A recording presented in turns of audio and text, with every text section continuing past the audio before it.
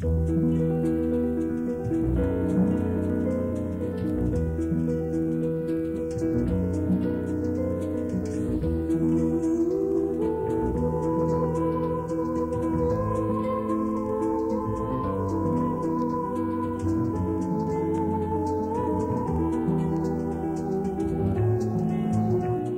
are pleased to present from St. Marguerite Bourgeoys Parish in Sydney Mass for Shut ins. Good morning and welcome to Mass for Shut ins. Today we celebrate the feast of Christ the King. We are very pleased to welcome parishioners and choir from St. Louis Parish in Louisdale and their pastor, Father Duncan McIsaac. In the name of the Father, and of the Son, and of the Holy Spirit, amen. The grace and peace of our Lord Jesus Christ, the love of God, and the grace of the Holy Spirit be with you all. As we enter into these sacred mysteries this morning, let us ask now for God's mercy and forgiveness in our lives. You were sent to heal the contrite of heart. Lord, have mercy. You came to call sinners Christ, have mercy. You are seated at the right hand of the Father to intercede for us. Lord, have mercy. May Almighty God have mercy on us, forgive us our sins, and bring us to everlasting life. Amen. Let us pray.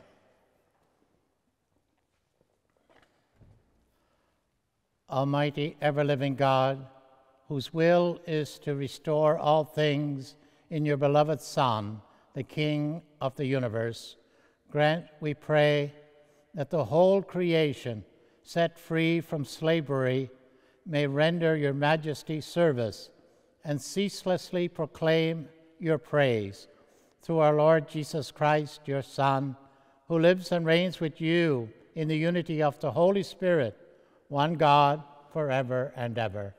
Amen.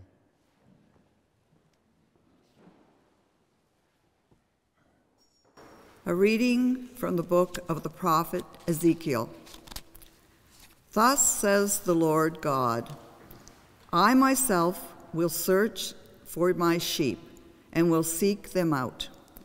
As a shepherd seeks out his flock when he is going among his scattered sheep, so I will seek out my sheep.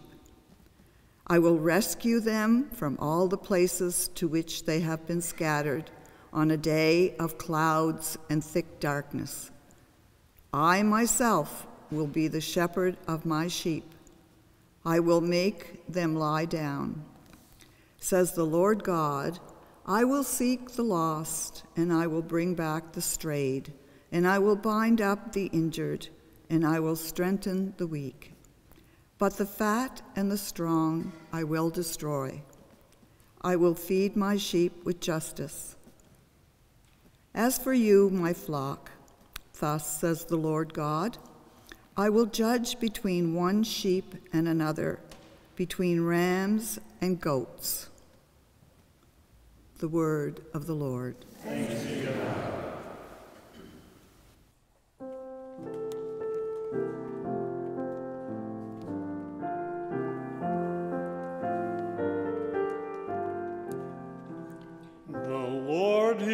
my shepherd, I shall not want.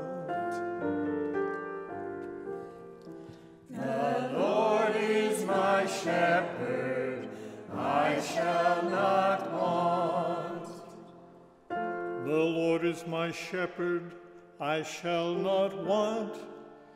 He makes me lie down in green pastures. He leads me beside still waters. He restores my soul. The Lord is my shepherd, I shall not Surely goodness and mercy shall follow me all the days of my life and I shall dwell in the house of the Lord my whole life long. The Lord is my shepherd, I shall not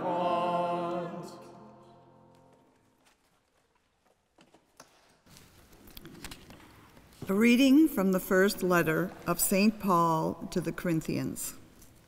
Brothers and sisters, Christ has been raised from the dead, the first fruits of those who have fallen asleep. For since death came through a man, the resurrection of the dead has also come through a man. For as all die in Adam, so all will be made alive in Christ. But each in his own order Christ the first fruits, then at his coming, those who belong to Christ. Then comes the end, when he hands over the kingdom to God the Father after he has destroyed every ruler and every authority and power. For he must reign until he has put all his enemies under his feet. The last enemy to be destroyed is death. When all things are subjected to him, then the Son himself will also be subjected to the one who has put all things in subjection under him so that God may be all in all. The word of the Lord.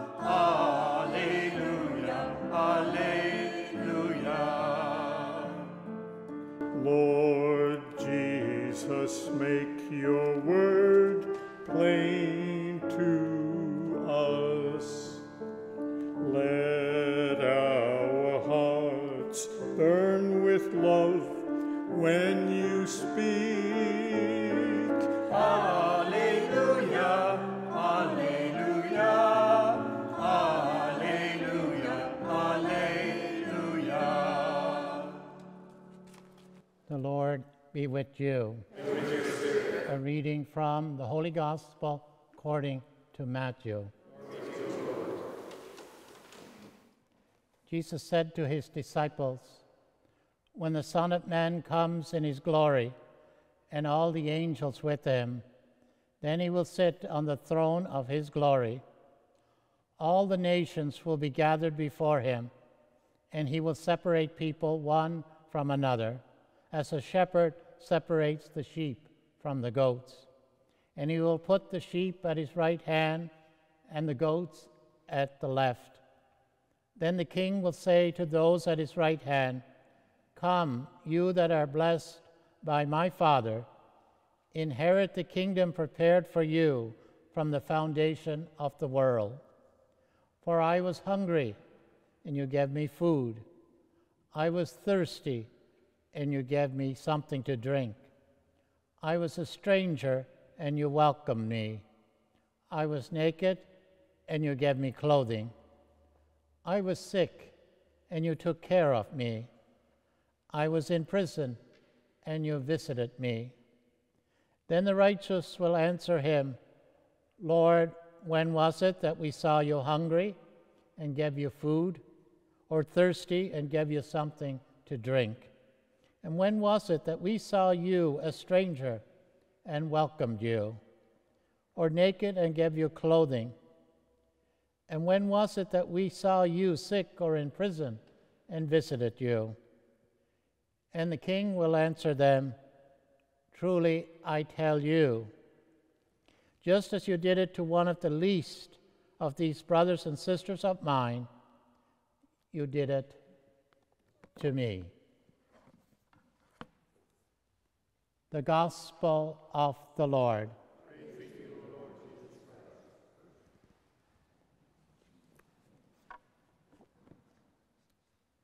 Today marks the end of the Church's liturgical year, and we begin a new year and a new season with Advent next week.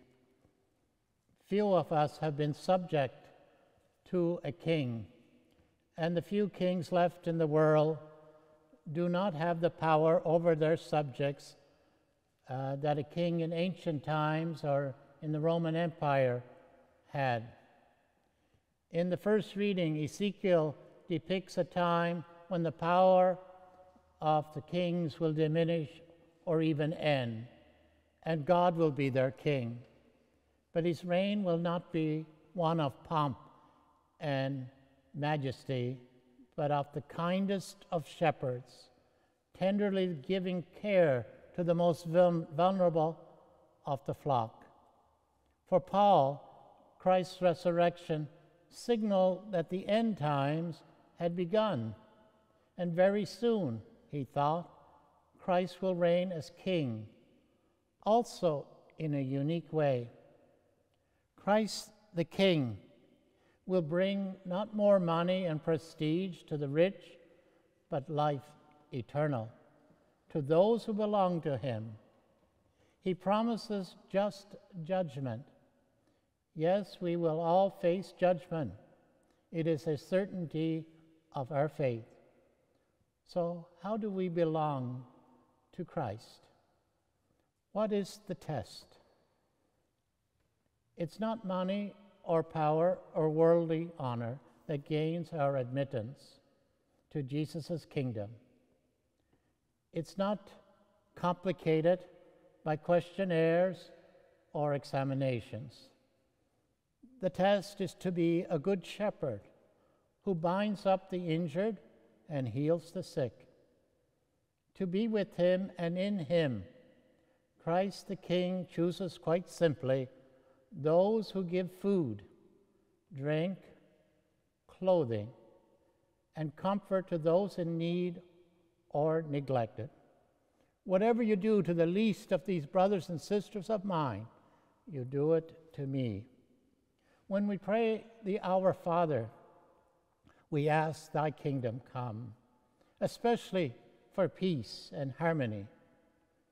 We become instruments of that kingdom building in offering our own lives in imitation of Jesus in the power of the cross by living a life of Christian service, feeding those who are hungry, giving drink to those who are thirsty, making the stranger welcome, clothing those who are naked, visiting those who are sick, and those in prison. Specifically, have we cared for the least among us through the corporal and spiritual works of mercy? to all our shut ins at home or in the hospital or healthcare facilities. You have enormous gifts to offer in service to Christ the King. Shelter, neighbor, family, friends who visit you with your welcome, your smile, your embrace. Clothe your children and grandchildren and loved ones with your love, compassion, and kindness. Feed them with your wisdom, knowledge, and experience. Give drink to those who thirst for peace in our world by your prayers. And you will bring about a kingdom of justice, love, and peace.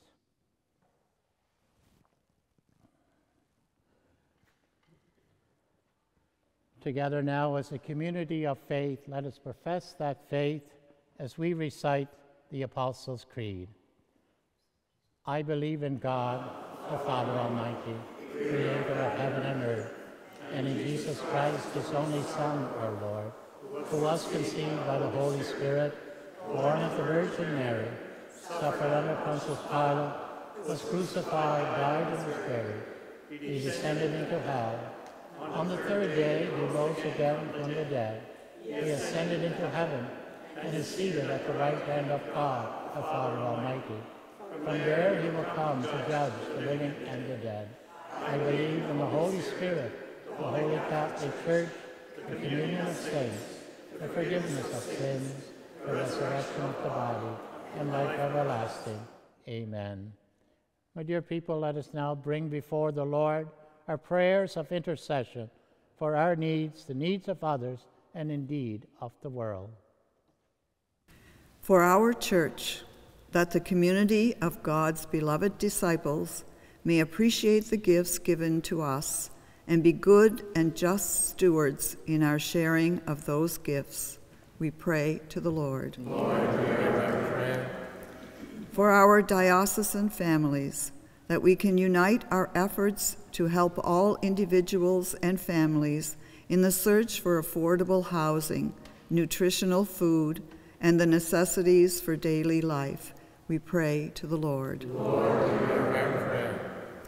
for all local, national, and world leaders. May they be supported and encouraged in their efforts to create a more just and tolerant world where all people can live in peace. We pray to the Lord. Lord for all persons facing illness in healthcare centers and homes, and for persons who provide them with compassionate care each day, we pray to the Lord. Lord for the comfort and prayer for families who are mourning the loss of loved ones as they celebrate their love and lives, we pray to the Lord. Lord Gracious and loving God, hear the prayers of your people and grant what you have inspired us to ask in faith. We make our prayer through Christ, your Son, our Lord. Amen.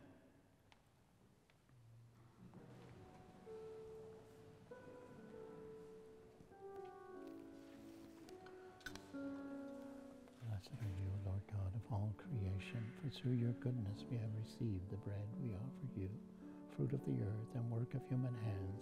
It will become for us the bread of life. Mm-hmm.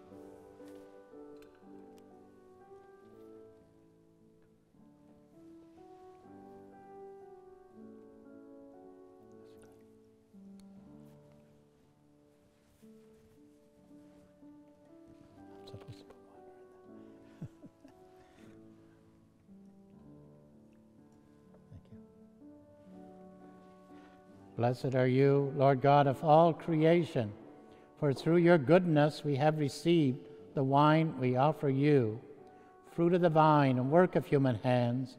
It will become our spiritual drink.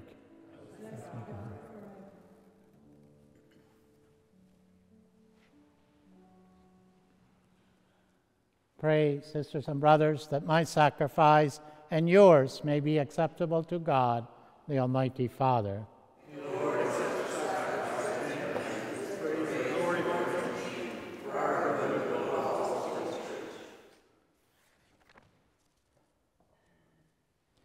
As we offer you, O Lord, the sacrifice by which the human race is reconciled to you, we humbly pray that your Son himself may bestow on all nations the gifts of unity and peace through Christ our Lord. The Lord be with you. Lift up your hearts. Let us give thanks to the Lord our God. It is truly right and just, our duty and our salvation, always and everywhere to give you thanks, Lord, Holy Father, Almighty and eternal God. For you anointed your only begotten Son, our Lord Jesus Christ, with the oil of gladness as eternal priest and King of all creation, so that by offering himself on the altar of the cross as a spotless sacrifice to bring us peace, he might accomplish the mysteries of human redemption and, making all created things subject to his rule, he might present to the immensity of your majesty an eternal and universal kingdom, a kingdom of truth and life, a kingdom of holiness and grace a kingdom of justice, love, and peace. And so, with angels and archangels, with thrones and dominions, and with all the hosts and powers of heaven, we sing the hymn of your glory as without end we acclaim.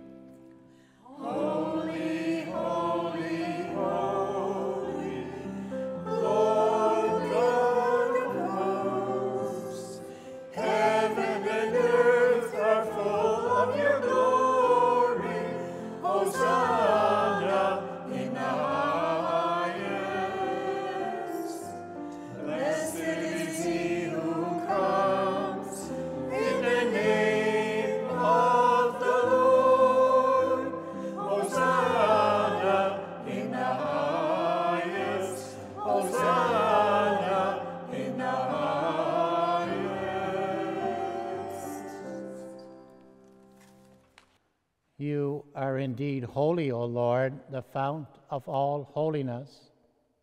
Make holy, therefore, these gifts, we pray, by sending down your Spirit upon them like the dewfall, so that they may become for us the body and blood of our Lord Jesus Christ. At the time he was betrayed and entered willingly into his passion, he took bread and giving thanks, broke it and gave it to his disciples, saying, Take this, all of you, and eat of it, for this is my body, which will be given up for you.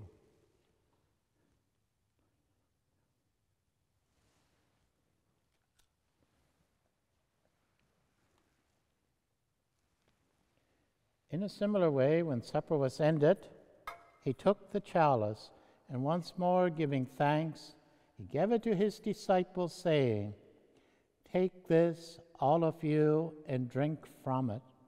For this is the chalice of my blood, the blood of the new and eternal covenant, which will be poured out for you and for many for the forgiveness of sins. Do this in memory of me.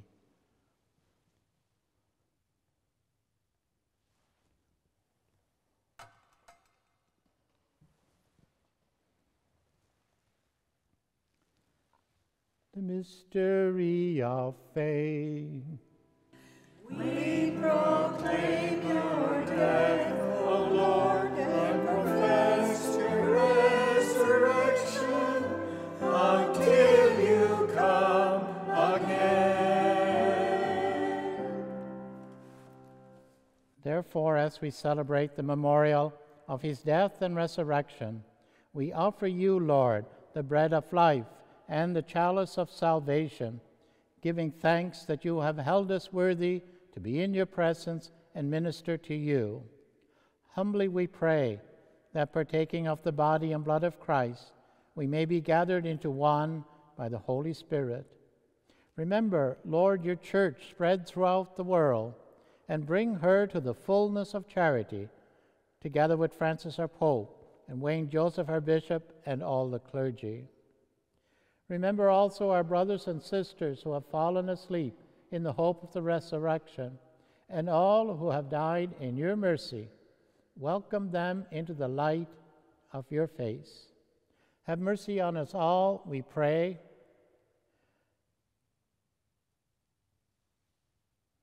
That with the Blessed Virgin Mary, Mother of God, with Blessed Joseph, her spouse, with the blessed apostles, with good Saint Dan, and all the saints who have pleased you throughout the ages, we may merit to be co heirs to eternal life, and may praise and glorify you through your Son, Jesus Christ.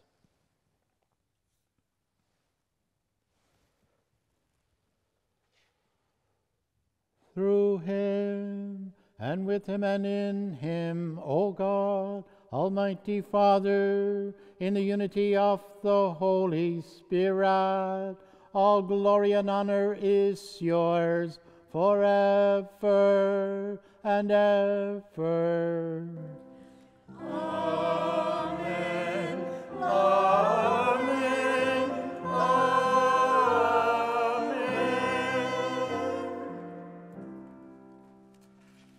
At the Savior's command, informed by divine teaching, we dare to say,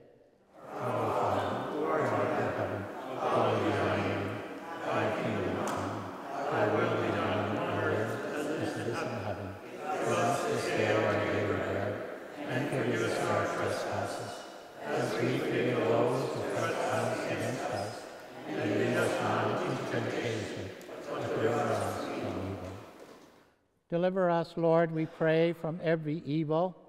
Graciously grant peace in our days, that by the help of your mercy we may be always free from sin and safe from all distress, as we await the blessed hope and the coming of our Savior, Jesus Christ.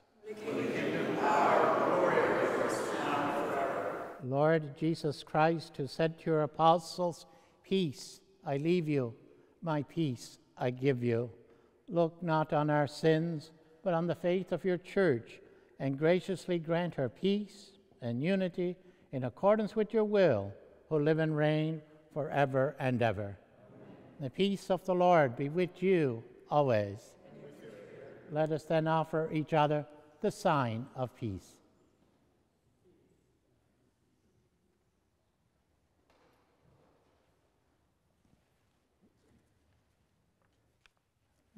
Lamb of God, you take away the sins of the world, have mercy on us. Lamb of God, take away the sins of the world, have mercy on us. Lamb of God, take away the sins of the world, grant us peace.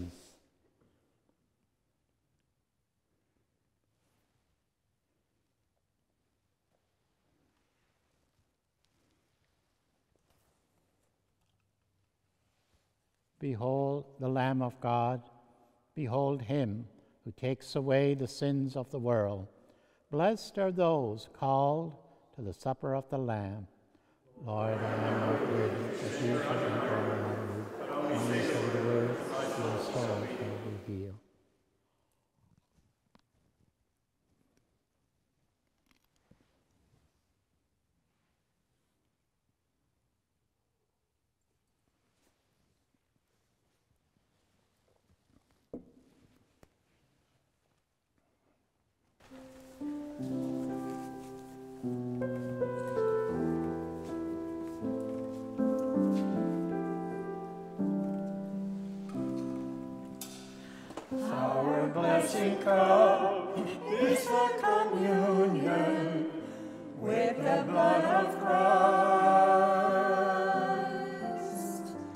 Jesus, I love you and long to receive you sacramentally.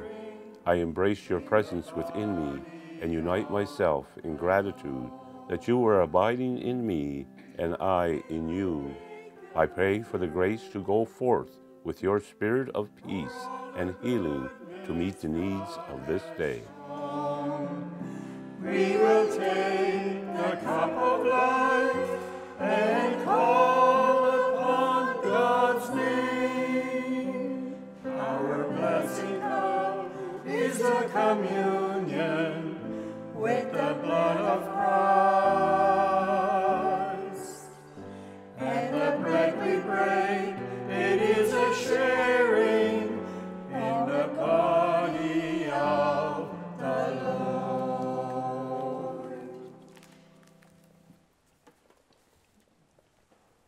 Let us pray.